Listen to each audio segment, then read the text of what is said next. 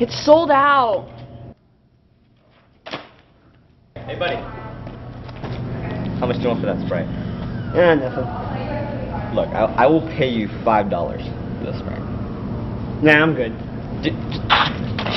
Give it. Get. Oh.